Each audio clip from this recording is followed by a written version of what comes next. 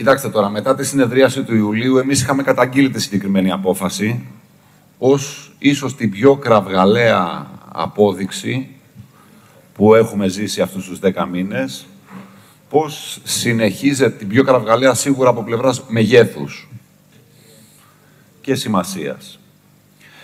Ε, της απόλυτης ταύτισης των παρατάξεων του ΠΑΣΟΚ, του ΣΥΡΙΖΑ, της Νέας Δημοκρατίας, στο Δημοτικό Συμβούλιο, γύρω από ένα project, το οποίο εμείς το έχουμε χαρακτηρίσει και νομίζω ότι όσο περνάει ο καιρός επιβεβαιωνόμαστε και όσοι παρακολουθούν η οικονομική επικαιρότητα το βλέπουν, ότι είναι μια πολύ μεγάλη μπίζνα, πολύ μεγάλων επιχειρηματικών συμφερόντων, πιο πέρα από το γήπεδο του Παναθηναϊκού και πιο δίπλα.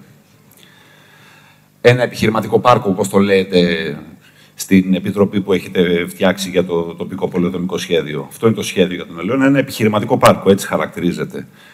Αυτό λοιπόν εδώ το πράγμα τον Ιούλιο το χαρακτηρίζαμε ως μια πολύ ξεκάθαρη απόδειξη ότι τα δίνεται όλα προκειμένου να προχωρήσει αυτή η μεγάλη πίσνα.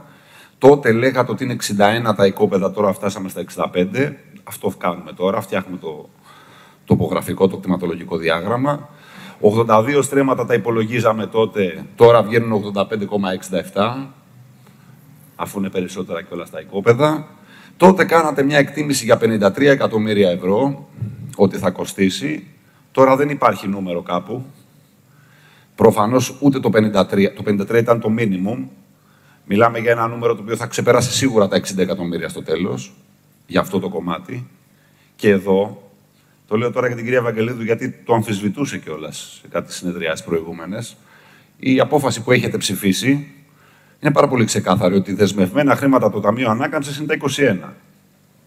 Τα υπόλοιπα, λέτε, αποφασίζατε ότι είναι πράσινο ταμείο, παρένθεση, που θα μπορούσε να χρηματοδοτήσει πολλών ειδών απαλωτριώσεις στην υπόλοιπη Αθήνα, πλην Ελαιώνα, πλην διπλής ανάπλασης, και ίδιους πόρους του Δήμου. Και λέμε ότι το χρησιμοποιούμε παντού. Νομίζουμε πλέον ότι ο κόσμος σε όποια γειτονιά και αν διεκδικεί χώρους και αν ψάχνει να βρει κάτι, αντιλαμβάνεται το μέγεθος και τις στοχεύσεις που έχει η πολιτική σας και τι εξυπηρετείτε τελικά. Ακριβώς γιατί όπου πάει να διεκδικήσει κάτι, είτε χώρο είτε παιδικό σταθμό, του λέτε δεν υπάρχουν λεφτά. Και εδώ πάρα πολύ χρήμα. Και επειδή το συνολικό κόστος αυτή τη στιγμή φτάνει κοντά στα 270 εκατομμύρια, άμα τα αθροίσετε όλα αυτά που λένε τα εισηγητικά σας, δεν τα βγάζουμε από το μυαλό μας, με το κοντά στο 60 αυτό που μπορεί να φτάσει και πολύ παραπάνω, πρέπει να πείτε στον κόσμο ότι το Ταμείο Ανάκαμψης από αυτά τα 270 δίνει τα 104. Τα υπόλοιπα 160 κάτι είναι κρατικό χρήμα. Κρατικό. Πρόγραμμα Δημοσίων Επενδύσεων, ειδικό πρόγραμμα Δήμου Αθηναίων, ένα ειδικό πρόγραμμα του Υπουργείου Ανάπτυξης. Αυτά είναι. Εκεί πάει το χρήμα. Στη διπλή ανάπλαση πάει το χρήμα. Για τις business. Γιατί και αυτή η κοινόχρηστη χώρη εκεί, ενώ πραγματικά θα μπορούσε και είναι αναγκαίο να αναβαθμιστεί η περιοχή, δεν αναβαθμίζεται η περιοχή για τους κατοίκους, αναβαθμίζεται ως προάβλιο των μεγάλων κατασκευών που είναι έτοιμες να φτιαχτούν, χιλιάδων τετραγωνικών κυβικών μέτρων τσιμέντου, χιλιάδων που έχουν ήδη προγραμματιστεί να χτιστούν το επόμενο διάστημα. Με αυτή την έννοια λοιπόν προφανώς θα το καταψηφίσουμε. Ε, και μόνο το γεγονός ότι ακόμη και ο κύριος Μπακογιάννης βάζει επιφυλάξεις για τη διαδικασία,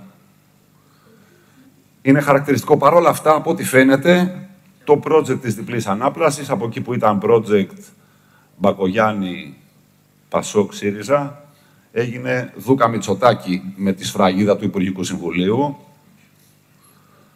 Αυτό είναι το καινούριο στοιχείο πολύ χαρακτηριστικό για το πού θέλετε να πάνε τα πράγματα και πώς αντιλαμβάνεστε τις ιεραρχίες και τις προτεραιότητες που υπάρχουν για αυτή την πόλη.